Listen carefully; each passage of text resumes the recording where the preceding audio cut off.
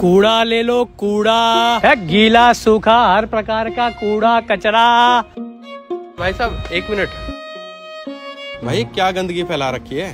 दुनिया कूड़ा बाहर फेंकती है और तू कूड़ा बेच रहा है। पर इसमें नई बात क्या है? यही कि तू कूड़े वाला लग तो रहा है पर कूड़ा लेने के बजाय तू कूड़ा बेच रहा है। क्या बात कर रहे हैं साहब? बहुत तगड़ा बिज़नेस है ये। घर से कूड़ा उठाने में क्या मिलता है? कुछ नहीं मिलता है। लेकिन कूड़ा बेचने में बहुत तगड़ी कमाई है।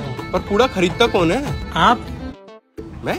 मेरा मतलब आप जैसे लोग कई कस्टमर है सर और आप भी कई बार ये कूड़ा खरीदते ही होंगे। नहीं बिल्कुल नहीं। मैं पागल हूँ जो कूड़ा खरीदूँगा। सर कैसी बात कर रहे हैं? मैं शर्ट लगा के कह सकता हूँ आप दिन में कई बार ये कूड़ा खरीदते होंगे। मेरा दिमाग घूम रहा है ऐसा कौन सा कूड़ा कचरा है तेरे पास? हर तरीके का गीला सूखा आधा गीला आधा सूखा सब वेरायटी है। और लोग ये सब खरीदते भी है? हाँ हाँ रोज और दिन में दस दस बार। ऐसा है मैं पागल हो जाऊँगा तू कूड़ा दिखा पहले। अच्छा खरीदिएगा। मैं पहले बता रहा हूँ कि आज मैं ऑनलाइन पेमेंट नहीं लूँगा कैश लूँगा। नहीं नहीं मुझे सिर्फ़ सैंपल देखना है। अच्छा सैंपल देखेंगे। देखिए। ये रहा सूखा कचरा और ये गीला। अबे ध्यान से देख ये बर्गर है ये कोल्ड ड्रिंक है। एग्जैक्टली माई पॉइंट ये कूड़ा और कचरा ही है।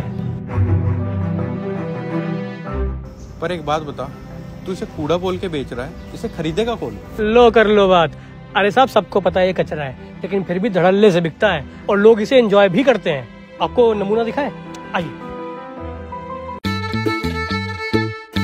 होटल और रेस्टोरेंट में तो आपने भर भर की भीड़ देखी होगी।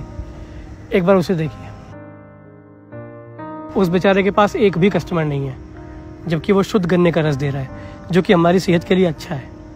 आजकल दिक्कत तो यही है, दूध वाला घर घर जाके दूध देता है, लेकिन कोई नहीं लेता। लेकिन वहीं अगर किसी को शराब पीनी होती है तो वो मीलों दूर चले जाएँगे। क्या है ना कि आजकल लोग स्वाद के बारे में ज़्यादा सोचते हैं सेहत के नहीं। तुम ये जो ज्ञान देते हो उससे लोगों को फ़र्क भी पड़ता है? पता नहीं और मैं इन सब चीज़ों का हिसाब भी नहीं रखता। मेरा एक चीज़ मानना है कि आप कर्म करते रहो फल की चिंता मत करो। पर एक बात समझ नहीं आई तुम्हारा असली काम क्या है? कूड़ा तो नहीं बेचते होंगे। नहीं नहीं ये तो मैं जब भी फ्री होता हूँ तो सामाजिक ज़िम्मेदारी की तरह लोगों को जागरूक करने निकल पड़ता हूँ। आज आप मिल गए तो आपको समझा दिया। वो तो मैं समझ रहा हूँ बट काम क्या करते हो? दिन गिन रहा हूँ। मतलब? सर मुझे कैंसर है। अरे सर आप क्यों दुखी हो गए? बीमार तो मैं हूँ। क्या है ना कि हम लोग बिना सोचे समझे कुछ भी उल्टा सीधा खाते हैं। मन की सुनते हैं दिमाग की नहीं। और मन का क्या है? मन तो साला चंचल है।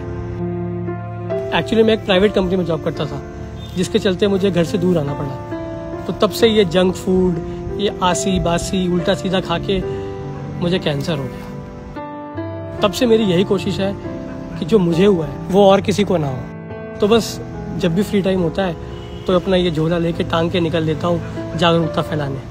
यार, आज का दिन बहुत अलग है। आज मैंने बहुत कुछ सीखा है। आज के बाद मैं कभी ये सब चीज़ें ना खाऊँगा, ना पीऊँगा। और दूसरों को भी जागरूक करूँगा कि वो भी आज के बाद ये सब उल्टी सीधी चीज़ें ना खाएँ, ना पिए।